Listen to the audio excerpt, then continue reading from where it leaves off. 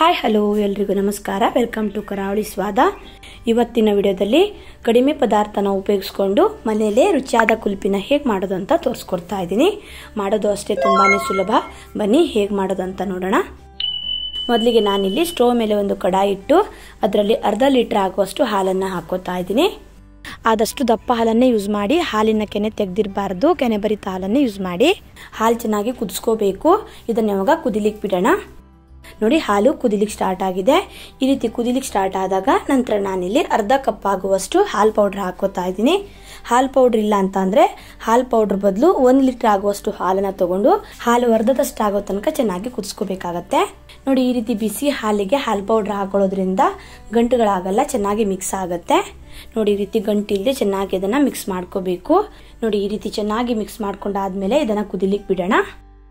ಅಷ್ಟು ತನಕ ನಾನಿಲ್ಲಿ ಒಂದು ಮಿಕ್ಸಿಂಗ್ ಬೌಲ್ ತೊಗೊಂಡು ಅದರಲ್ಲಿ ಎರಡು ಚಮಚ ಆಗುವಷ್ಟು ಕಾರ್ನ್ಫ್ಲೋರ್ ಹಾಕೋತಾ ಇದ್ದೀನಿ. ಜಾಸ್ತಿ ಹಾಕೊಳ್ಳಿಕ್ಕಿಲ್ಲ ಎರಡೇ ಎರಡು ಚಮಚ ಹಾಕ್ಕೊಂಡ್ರೆ ಸಾಕು. ಅರ್ಧ ಕಪ್ ಹಾಲು ಹಾಕಿ ಚೆನ್ನಾಗಿ ಇದನ್ನು ಮಿಕ್ಸ್ ಮಾಡ್ಕೋಬೇಕು. ಗಂಟಿಲ್ದೆ ಚೆನ್ನಾಗಿ ಇದನ್ನು ಮಿಕ್ಸ್ ಮಾಡ್ಕೊಳ್ಳಿ. ಗಂಟೇನಿರಬಾರ್ದು ಕುಲ್ಫಿ ಅಥವಾ ಯಾವುದೇ ಐಸ್ ಕ್ರೀಮ್ಗೆ ಈ ರೀತಿ ಸ್ವಲ್ಪ ಕಾರ್ನ್ಫ್ಲೋರ್ ಹಾಕೋದ್ರಿಂದ ಟೆಕ್ಸ್ಚರ್ ಚೆನ್ನಾಗಿ ಬರುತ್ತೆ. ನೋಡಿ, ಈ ರೀತಿ ಚೆನ್ನಾಗಿ ಮಿಕ್ಸ್ ಮಾಡಿಕೊಂಡು ಕುದಿಯೋ ಹಾಲಿಗೆ ಇದನ್ನು ಮಿಕ್ಸ್ ಮಾಡ್ಕೋಬೇಕು. ನೋಡಿ, ಹಾಕುವಾಗ ಈ ರೀತಿ ತಳದಿಂದ ಚೆನ್ನಾಗಿ ಮಿಕ್ಸ್ ಮಾಡ್ಕೊಳ್ಳಿ. ಕಾರ್ನ್ಫ್ಲೋರ್ ತಳಕ್ಕೆ ಹೋಗಿ ಕುತ್ಕೊಳ್ಳುತ್ತೆ. ನೋಡಿ ರೀತಿ ಚೆನ್ನಾಗಿ ಮಿಕ್ಸ್ ಮಾಡ್ಕೊಂಡಿದ್ದನ್ನು ಹಾಲಿಗೆ ಹಾಕೋತಾ ಇದ್ದೀನಿ. ಈ ರೀತಿ ತಿರುಗಿಸ್ತಾನೆ ಮಿಕ್ಸ್ ಮಾಡ್ಕೊಳ್ಳಿ, ಇಲ್ಲಾಂದ್ರೆ ಗಂಟಾಗೋ ಚಾನ್ಸಸ್ ಇರುತ್ತೆ. ನೋಡಿ ಕಾರ್ನ್ ಫ್ಲೋರ್ ಮಿಕ್ಸರ್ ಹಾಕಿದ್ಮೇಲೆ ಸ್ವಲ್ಪ ಇದು ದಪ್ಪ ಆಗಿದೆ. ಇದನ್ನು ಯಾವಾಗ ಕುದಿಸ್ಕೋಬೇಕು? ನಂತರ ನಾನಿಲ್ಲಿ ಸಿಹಿಗೆ ಆರು ಚಮಚ ಆಗುವಷ್ಟು ಸಕ್ಕರೆನ ಹಾಕೋತಾ ಇದ್ದೀನಿ. ನಿಮಗೆ ಸ್ವೀಟ್ ಎಷ್ಟು ಬೇಕು ಅಂತ ನೋಡಿಕೊಂಡು ಸಕ್ಕರೆನ ಹೆಚ್ಚು ಕಮ್ಮಿ ಹಾಕೋಬಹುದು. ಸಕ್ಕರೆ ಹಾಕಿ ಚೆನ್ನಾಗಿ ಒಂದ್ಸಲ ಮಿಕ್ಸ್ ಮಾಡ್ಕೋತಾ ಇದ್ದೀನಿ. ನೋಡಿ ಈ ರೀತಿ ಮಿಕ್ಸ್ ಮಾಡ್ಕೊಂಡು ಇದನ್ನು ಕುದಿಲಿಕ್ಕೆ ಬಿಡೋಣ. ತುಂಬ ಹೊತ್ತಿನ ಕುದಿಸ್ಕೊಳ್ಳೋದು ಬೇಡ. ಚೆನ್ನಾಗಿ ಒಂದರಿಂದ ಎರಡು ಕುದಿ ಬಂದರೆ ಸಾಕು. ತುಂಬ ಹೊತ್ತು ಕುದಿಸ್ಕೊಂಡ್ರೆ ಗಟ್ಟಿಯಾಗ್ಬಿಡತ್ತೆ. ನೋಡಿ, ಚೆನ್ನಾಗಿ ಕುದೀತಾ ಇದೆ. ಸ್ಟೋವ್ನ ಆಫ್ ಮಾಡ್ಕೋತಾ ಇದ್ದೀನಿ. ನೋಡಿ, ಕುಲ್ಫಿ ಮಿಕ್ಸ್ಚರ್ ಈ ಕನ್ಸಿಸ್ಟೆನ್ಸಿಲಿದೆ ತಣದ್ಮೇಲೆ ಇನ್ನು ಸ್ವಲ್ಪ ದಪ್ಪ ಆಗುತ್ತೆ.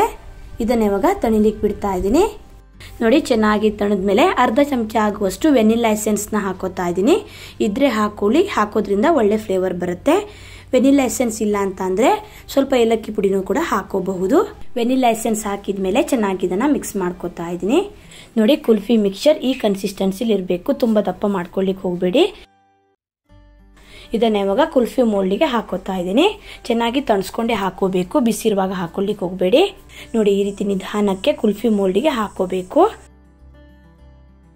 ಒಂದು ವೇಳೆ ನಿಮ್ಮ ಹತ್ರ ಕುಲ್ಫಿ ಮೋಲ್ಡ್ ಇಲ್ಲ ಅಂತ ಅಂದರೆ ಈ ರೀತಿಯಾದ ಚಿಕ್ಕ ಟೀ ಕುಡಿಯೋ ಗ್ಲಾಸ್ ಇರುತ್ತಲ್ಲ, ಅದರಲ್ಲೂ ಕೂಡ ಕುಲ್ಫಿನ ಮಾಡ್ಕೋಬಹುದು. ಎಲ್ಲದಕ್ಕೂ ಕುಲ್ಫಿ ಮಿಕ್ಸರ್ ಹಾಕಿದ್ಮೇಲೆ ನಂತರ ನೋಡಿ ಈ ರೀತಿ ಅಲ್ಯೂಮಿನಿಯಂ ಫೈಲ್ ಪೇಪರ್ ಬರುತ್ತಲ್ಲ, ಅದರಿಂದ ನೋಡಿ ಈ ರೀತಿ ಚೆನ್ನಾಗಿ ಕವರ್ ಮಾಡ್ಕೋಬೇಕು. ನಂತರ ನೋಡಿ ಈ ರೀತಿ ಕುಲ್ಫಿ ಸ್ಟಿಕ್ ಬರುತ್ತಲ್ಲ, ಅದನ್ನು ಮಧ್ಯದಲ್ಲಿ ಹಾಕಬೇಕು. ಒಂದು ವೇಳೆ ನಿಮ್ಮ ಹತ್ರ ಕುಲ್ಫಿ ಸ್ಟಿಕ್ ಇಲ್ಲ ಅಂತ ಅಂದರೆ ಈ ರೀತಿಯಾದ ಸ್ಪೂನ್ನ ಯೂಸ್ ಮಾಡಬಹುದು, ಅಥವಾ ಯಾವುದೇ ಸ್ಪೂನ್ ಕೂಡ ಯೂಸ್ ಮಾಡಬಹುದು. ಸ್ವಲ್ಪ ಈ ರೀತಿ ಇದನ್ನು ಮಾರ್ಕ್ ಮಾಡಿಕೊಂಡು ಕುಲ್ಪಿ ಸ್ಟಿಕ್ನ ಮಧ್ಯದಲ್ಲಿ ಹಾಕ್ತಾ ಇದ್ದೀನಿ. ನೋಡಿ, ಎಲ್ಲವನ್ನು ಇದೇ ರೀತಿ ಮಾರ್ಕ್ ಮಾಡಿ ಕುಲ್ಪಿ ಸ್ಟಿಕ್ನ ಮಧ್ಯದಲ್ಲಿ ಇಟ್ಟರೆ ಆಯಿತು. ಅಲ್ಯೂಮಿನಿಯಂ ಫೈಲ್ ಪೇಪರ್ ಹಾಕಿಲ್ಲ ಅಂದರೆ ಕುಲ್ಪಿ ಸ್ಟಿಕ್ ಕ್ರಾಸ್ ಆಗಿ ಕೂತ್ಕೊಳ್ಳುತ್ತೆ. ಅಲ್ಯೂಮಿನಿಯಂ ಫೈಲ್ ಪೇಪರ್ ಇಲ್ಲ ಅಂತ ಅಂದರೆ ಯಾವುದೇ ತೆಳ್ಳಗಿನ ಪ್ಲಾಸ್ಟಿಕ್ ಶೀಟ್ ಹಾಕಿ ಅದಕ್ಕೆ ರಬ್ಬರ್ ಹಾಕೋಬಹುದು.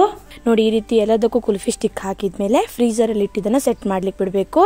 ಮಿನಿಮಮ್ ಆರಿಂದ ಎಂಟು ಗಂಟೆ ಆದರೂ ಇದನ್ನು ಫ್ರೀಸರಲ್ಲಿ ಇಡಬೇಕಾಗತ್ತೆ. ನಾನಿಲ್ಲಿ ರಾತ್ರಿ ಫ್ರೀಜರಲ್ಲಿಟ್ಟು ಬೆಳಿಗ್ಗೆ ಇದನ್ನು ಓಪನ್ ಮಾಡ್ತಾ ಇದ್ದೀನಿ. ನೋಡಿ ಚೆನ್ನಾಗಿದು ಸೆಟ್ ಆಗಿದೆ. ಅಲ್ಯೂಮಿನಿಯಂ ಫಾಯಿಲ್ ಪೇಪರನ್ನು ತೆಗಿತಾ ಇದ್ದೀನಿ. ಈ ರೀತಿ ಕವರ್ ಮಾಡಿಡೋದ್ರಿಂದ ಒಳಗಡೆ ಐಸ್ ಕಟ್ಕೊಳ್ಳಲ್ಲ ಕ್ರೀಮಿ ಟೆಕ್ಸ್ಚರಲ್ಲಿ ಬರುತ್ತೆ. ಚೆನ್ನಾಗಿದು ಸೆಟ್ ಆಗಿರೋದ್ರಿಂದ ಫ್ರೀಜರಿಂದ ತೆಗೆದ ತಕ್ಷಣ ಇದನ್ನು ತೆಗಿಲಿಕ್ಕಾಗಲ್ಲ. ನೋಡಿ, ಈ ರೀತಿ ಪಾತ್ರೆಯಲ್ಲಿ ಸ್ವಲ್ಪ ನೀರು ತಗೊಂಡು ಗ್ಲಾಸ್ ಅಥವಾ ಮೋಲ್ಡನ್ನು ನೀರಲ್ಲಿ ಸ್ವಲ್ಪ ಹೊತ್ತು ಇಟ್ಟರೆ ಈ ರೀತಿ ಈಸಿಯಾಗಿ ನೋಡಿ ಮೋಲ್ಡಿಂದ ಕುಲ್ಫಿನ ತೆಗಿಬಹುದು. ತುಂಬಾ ಸುಲಭ.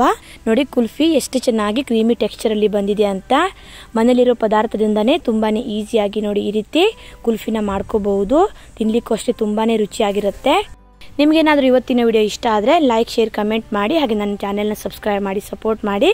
ಮತ್ತೆ ಸಿಗ್ತೀನಿ ಹೊಸ ವಿಡಿಯೋಂದಿಗೆ ಧನ್ಯವಾದಗಳು.